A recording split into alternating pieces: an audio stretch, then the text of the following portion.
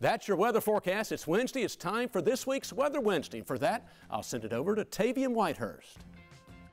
Back on Monday, the National Oceanic and Atmospheric Administration released a report detailing August, the summer, and much of the year to date. And that's been a crazy one, as you've probably realized. You're taking a look at billion dollar disasters across the country this year, and there's a new record 23. We've got 18 severe weather events across much of the country, two floods in the Northeast and in California, Hurricane Idalia that came into the Big Bend of Florida, the historic fires in Hawaii, and even a winter storm here up into the Northeast. Not to mention, we had Hurricane Hilary, which we're still waiting for the numbers on. And we also noticed extreme heat due to the heat dome that came into the middle of the country. Severe heat and drought coming into this area and lots of extra rainfall coming into the regions around it. August was the ninth warmest month on record, and this summer was the 15th hottest on record. But where does that leave us here in East Tennessee? Well, in terms of temperatures coming off of a fairly cool springtime, we actually hit average on the dot in both July and August. So this summer actually ended up taking us a bit below average as well because of a below average June,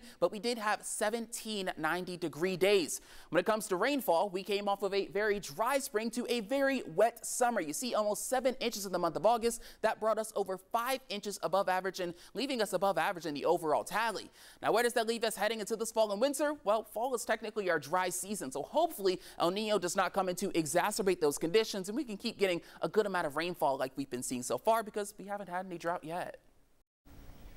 Well, if you have a weather question, let us know. Text us at 865 637 1010, and we will do our best to get you answers every Wednesday right here on Channel 10.